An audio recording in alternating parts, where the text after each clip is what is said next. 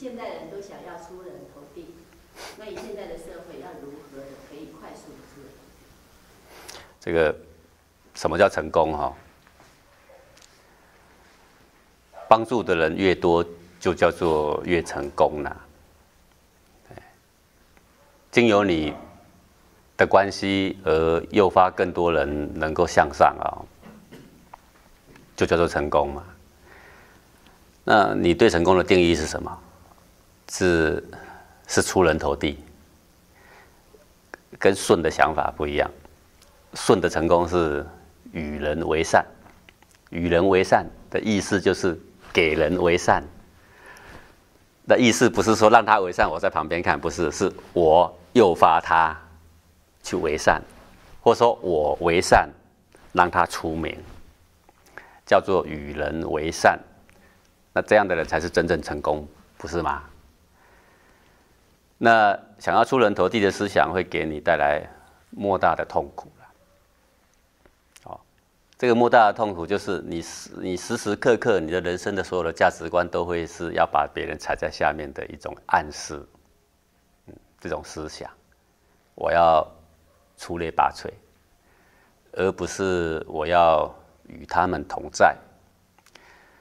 是我要光芒万丈，而不是让他们比我更幸福，对不对呀？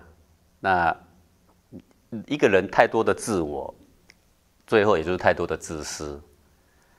自私的人从来是不会幸福的。即使他有一天登到高峰啊，把人都踩在脚下，他也不会幸福的了。啊，那我看到那第一则新闻很好笑。一个贪官贪了好好几个亿啊，后来被抓了嘛，抓了之后他自己在讲，他这个过程他其实很苦恼，很烦恼。怎样烦恼？他最烦恼就是不知道怎么藏钱。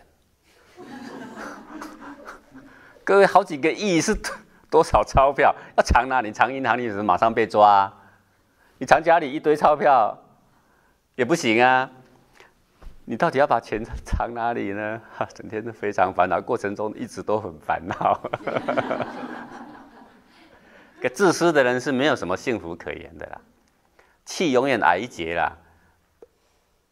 这个里面的气不会茁壮了，不会气宇轩昂了，不能神采奕奕了，啊，对自己是没有帮助的啊啊！我们愿意说，怎么样透过你的力量，让更多人更幸福、更成功。